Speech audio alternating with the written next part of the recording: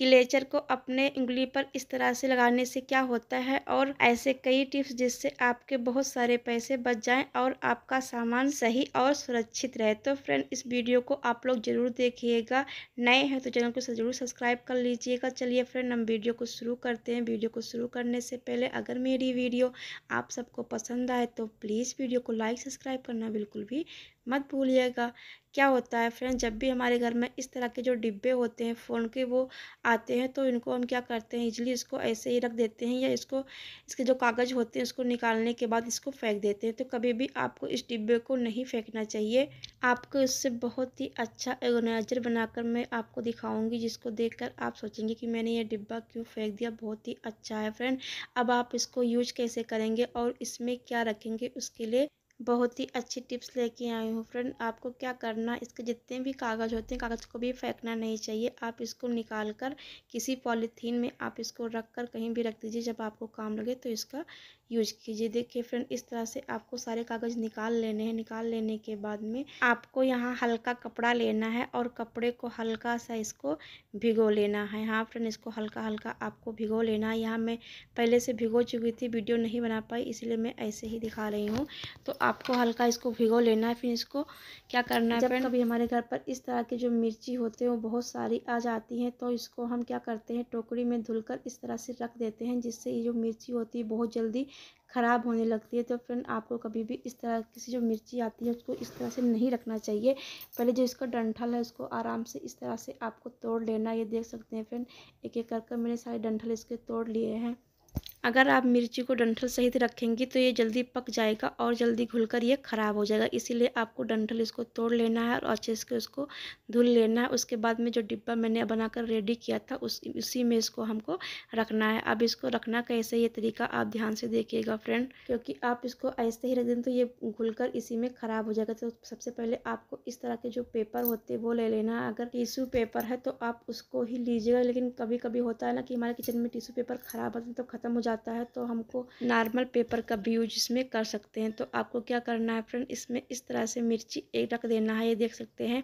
एक ही बार में आपको सारी मिर्ची बिल्कुल भी नहीं रखनी, आपको इसमें थोड़ी थोड़ी सी मिर्ची रखनी है, जिससे ये ख़राब बिल्कुल भी नहीं होंगी। ये देख सकते हैं फ्रेंड, मैंने एक पार्ट में इतनी सारी मिर्चियाँ रख दी हैं। आपको इतना ही रखना है, उसके बाद में आपको एक पेपर और लगा लेना, ये देख सकते हैं फ्रेंड, इस तरह से आपको उसको ढक देना है और एक पेपर लगाने के बाद में इस तरह से मैं थोड़ी सी मिर्ची आपको लगा लेनी और इसको हाथ के हल्प से इस तरह से फैला लेना है देख सकते हैं फ्रेंड।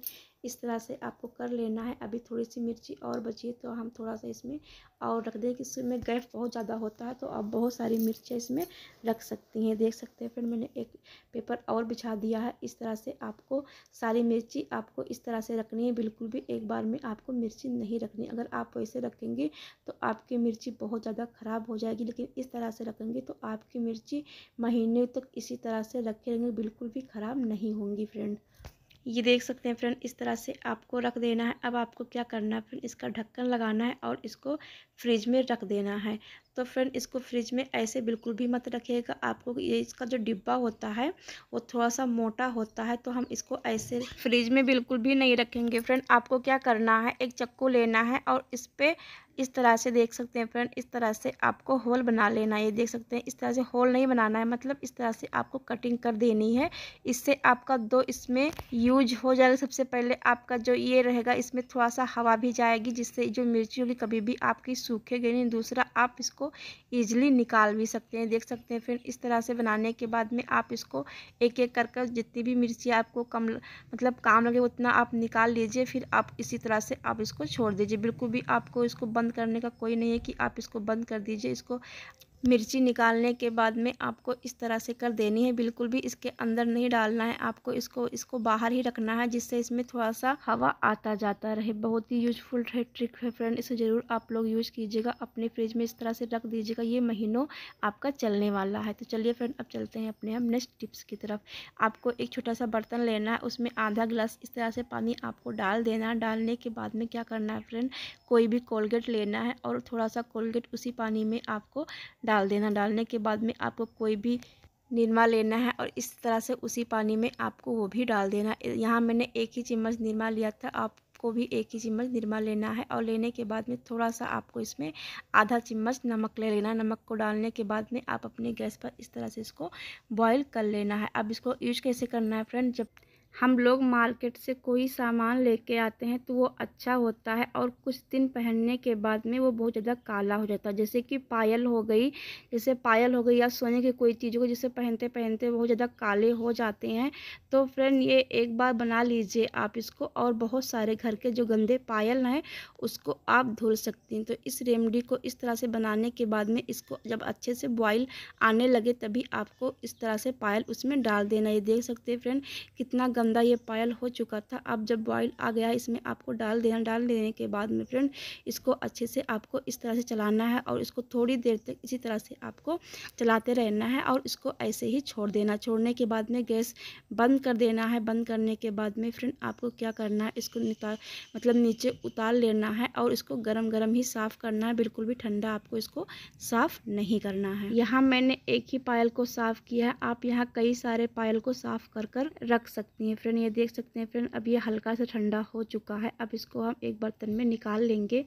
ये रेमडी बनाने के बाद में आपको बहुत ज़्यादा इसको गर्म भी नहीं रखना और बहुत ज़्यादा इसको ठंडा भी नहीं करना। नॉर्मली टेम्परेचर पर आपको इसको साफ़ करना है तो देख सकते हैं फिर अब ये हल्का हल्का ठंडा होने लगा है। अब इसको आपको क्या करना है? अब हम अपने पायल को साफ़ करेंगे। आपको पायल साफ़ किस तरह से करना कोई भी ब्रश लेना जो पुराने हो चुके हों और इस तरह से निकालने के बाद में थोड़ा सा आपको जो रेमडी बना कर रखा है आपने, इसको इस तरह से इसमें डाल देना। अभी मैं रेमडी बिल्कुल भी नहीं फेंकने वाली, इसका यूज़ मैं दूसरे चीज़ों में करूँगी। आप इससे पीतल के जो बर्तन होते हैं, गंदे हो जाते हैं, उसको भी अच्छे से आप इसको इस मतलब इसी रेमडी से आप इसको साफ़ कर सकते हैं। मैं, मेरे जो पीतल के बर्तन थे, वो गंदे हो चुके थे, मैं इसी से साफ़ करूँगी। ये देख सकते हैं फ्रेंड यहाँ मैंने पायल को अच्छे से इसको रब करते हुए अच्छे से इसको साफ़ कर लिया। आप देख सकते हैं कितना गंदा था और कितने अच्छे से ये साफ़ हो रहा है। ये देख सकते हैं फ्रेंड इसी तरह से आपको इसको अच्छे से रब करते हुए साफ़ कर लेना देख सकते हैं पानी में कितनी सारी गंदगियाँ इसकी भर चुकी हैं। एक ही पायल था भी इसमें कितनी सारी गंदगियाँ निकली हैं, आप इसे बहुत सारे पायल और अपने सोने की चीज़ों से साफ़ कर सकते हैं।